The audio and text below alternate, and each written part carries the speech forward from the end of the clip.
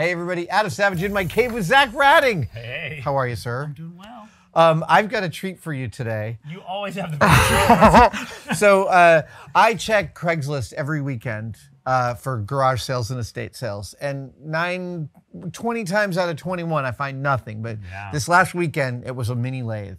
And I was like, oh, I got to go there. Yeah, cool. So I go down there. The mini lathe's already gone. So is the good diamond polishing wheel, sadly. Darn it. yeah. Uh, but for five bucks, I picked up this lunchbox that is, in my opinion, clearly an RC and remote controller, but from, a long time from a ago. long time ago. this is somebody's project. And I wanted just to look through it with you. Sure. I noticed um, pulse width Yeah. that apparently you, You can can, adjust. adjust the.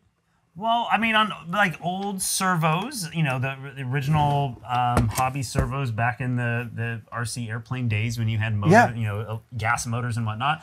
Um, I mean, and even modern ones, they use something called PPM, which is pulse. Uh, what is it? I I don't remember what the exact Yeah. letters are, but anyways, it's changing the the length of the pulse Right. to adjust the servo position. So, I, I remember doing that with a crystal in my radio, Yeah. not with a dial. So I wanted to open this up and sort of surmise a bit about how old it might be.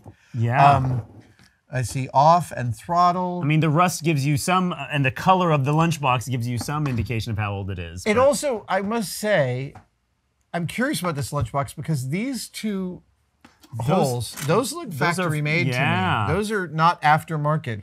So did this lunchbox just have a? have a vent. Yeah, I'm, I, I'm mis- it's curious. mis- mistress, mysterious. at yeah. this. Um, oh, I want. Oh, Oh, that there's some- smell. I wish I could give you this smell.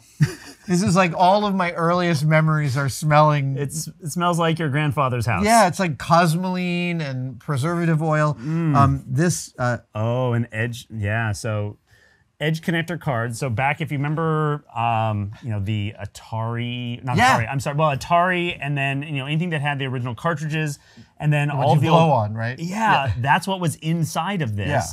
Um, and then the old Apple II, it used to have expansion cards, and they would have these edge connectors on there. It was just a cheap way of making a multi, you know, connector. Uh, So what did this thing do? What is this card for? Is that Well, a this is- transmitter? I mean, you have just a bunch of these are just standard resistors, Right. and then you've got some capacitors. Um, these are all capacitors, and then these are uh, probably just uh, these are just transistors. okay.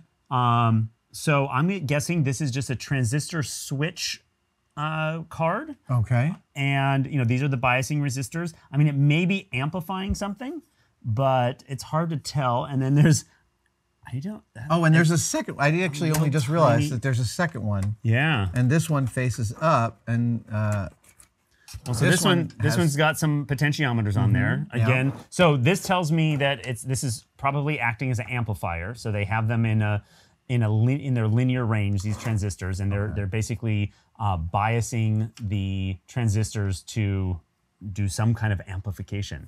Um, which spec- might be a radio amplification. It could be radio it could be uh, you know like a linear motor control.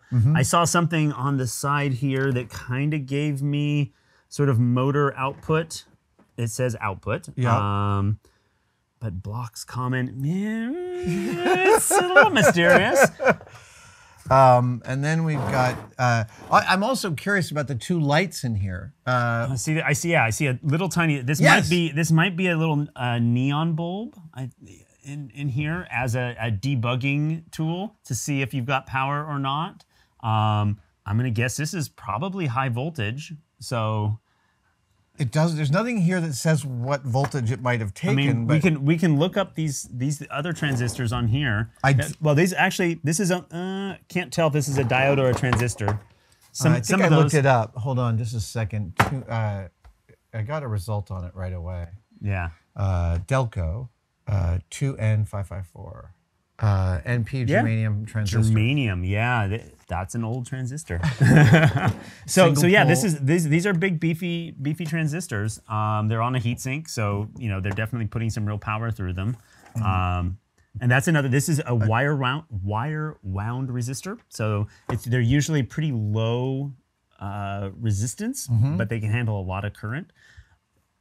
So I'm just curious about I, I, I everything about this says to me it's it's from old RC equipment potentially. Potentially. But I I'm curious about where the transmission happens. Well, I don't know that this is actually RF. Right. In fact, I don't think it is. I think you might be doing pulse width modulation of a motor Oh, instead of right. That's why you have output, input, and output. Yeah, so these are. I think this is just a screw terminal, like like a old. Yeah, these Yep. are. You put your wire around this and you you tighten it on. So on this is all about controlling a motor. Yeah, forward, reverse, throttle. Yeah, so this is this is actually a pulse width modulation uh, motor controller. Pulse normal. Yeah, I, I think I think this was a manual drive for some kind of either a machine tool, which it very well could be if they're selling a lathe and a grinder or things like that. Oh my gosh. So, yeah, if you do that. so do this some- could take. It might take house power. It might take 110. It's hard to know Mm. exactly what it is. Start voltage, max speed. So yeah, they have some external Yep. um, probably control boxes that they'd plug in here. No, Yeah. it's not. These are just pots. Look. Oh. Oh, I know. pot. I thought they were quarter inch jacks looks like too. it totally looks and like then I saw this, and I'm like, I've never seen that. How does? it? And then I saw the little screw. It's a. Oh, yeah, yeah. Okay, there you go. So yeah, so I, I think just just guessing, this was like a original um, power feed, maybe like like you have on on on your. Uh, like a crossfeed for a cross feed for the mill. Uh, it could also be dr- driving the motor for a lathe, like if you want to do electric speed control instead of gearing. Right. That's what this seems Oh, like to me. So I so now of course, well, I think what we'll do is, you know, we'll put this video up, and I'm sure there's some people who have some ideas about this, I but I'd specifically love to go find the right motor and see if it actually works. and actually and because it everything looks in pretty great shape in here. well, you can you can test all the transistors. You can do that with a with a multimeter. Mm-hmm, Yeah. Um, I mean, there's not much to go wrong. So the things that the things that die, well, old if they're electrolytic capacitors, and I see a couple of those in here. That's electrolytic. Right. Um, uh, ooh, I don't know what that one is. That one's cardboard. Uh, it might also be electrolytic, just 25 volts.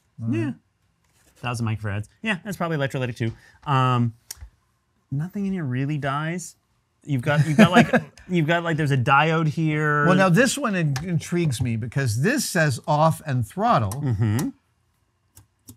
it's just a detent potentiometer. Yeah, but what what what what for? Why?